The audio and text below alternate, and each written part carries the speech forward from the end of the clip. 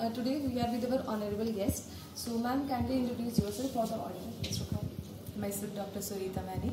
I'm professor in Electrical and Instrumentation Engineering, Sant Longowal Institute of Engineering and Technology, Longowal, Punjab.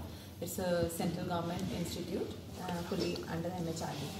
So, ma'am, uh, what is your view about this uh, smart you know, hackathon environment? What is your view? So, the thing is, uh, you, uh, youth, Yes. because we see there is a lot of potential in youth. And like Modi ji said, like we have a 60% youth in our country. And our future, our country future depends upon you people. And everybody has its own skill. That not about the skill. It's a habit of creating something new. Because you people, they are, you're always searching for the Google. You're always on the Facebook. But these hackathon event, they force you to think creative. Like when we used to be small kids, we used to be creative in designing the games even.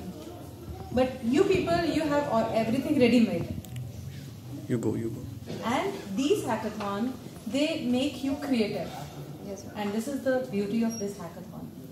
And uh, moreover, if you become creative, definitely skill development is the byproduct of that creativity. Yes, ma'am. And, uh, ma'am, what are the parameters in which you are judges, uh, judging the teams and all? We are judging the uh, we are judging based on the clarity of the thought, Yes. of the idea, of the subject or the problem which we have given to them. How much clear about that? The second thing that is their, their dedication, their sincerity, and their commitment towards their work, what they are committing, they are doing that. That's all.